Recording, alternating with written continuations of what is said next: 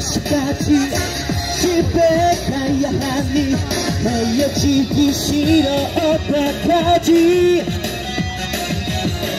눈딱 감고 말야 후딱 맞춰놓자.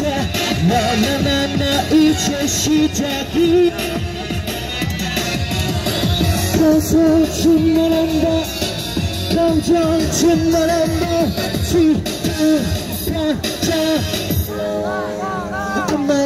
끝나겠는다고 친구도 싫어도 거철이 없다고 전화기 끊어도 Everybody 세상에서 닿지 않는 우리 아무것도 상관없는 우리. 아낌없이 남김없이 우리. Baby baby baby. 아름다운다 아름다운다